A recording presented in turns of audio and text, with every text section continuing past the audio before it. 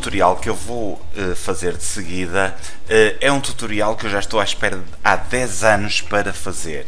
Uh, diz respeito a uma funcionalidade que eu há 10 anos atrás pedi à ZWSoft para incluir no ZWCAD e finalmente 10 anos depois tenho essa pretensão, uh, digamos, respondida. Estou a falar da possibilidade de fazer uh, a inserção da assinatura digital em fecheiros no formato DWFX no ZWCAD.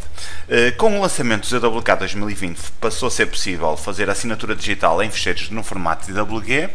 Com o Service Pack 1 uh, introduz esta grande novidade que é a possibilidade de inserir uh, assinatura digital em fecheiros DWFX e desta forma já se podem entregar uh, projetos uh, com assinatura digital em câmaras municipais sem terem de recorrer a software de terceiros.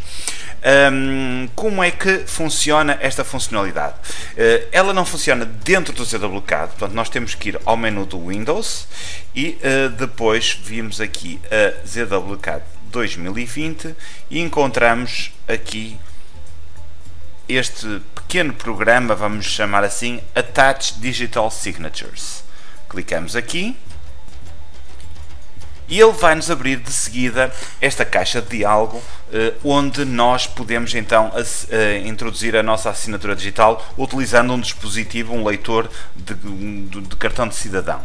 Eu então vou aqui a, a este botão que diz Add Files Uh, por defeito, ele pergunta-me por fecheiros com a extensão DWG, DWT ou DWF, portanto, são os três uh, tipos de fecheiros que ele permite assinar digitalmente, e depois só temos que ir buscar o fecheiro no formato DWF que queremos assinar, ele aqui está, fazemos abrir. Uh, podemos também introduzir uma coisa que é o timestamp, ou seja, podemos indicar o, um, a data do, do, em que a assinatura digital foi feita, de acordo com uma das normas que está aqui.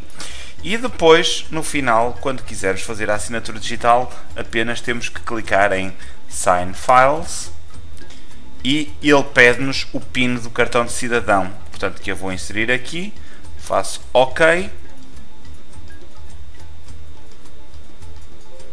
e ele diz-nos que foram assinados, portanto, foi assinado um documento. Portanto, este fecheiro DWF passou a ter assinatura digital. Portanto, e desta forma, se abrirmos este, este fecheiro DWFX num outro programa que faça a abertura desse tipo de fecheiros, vai-nos aparecer essa assinatura digital, uh, portanto, corretamente inserida no fecheiro.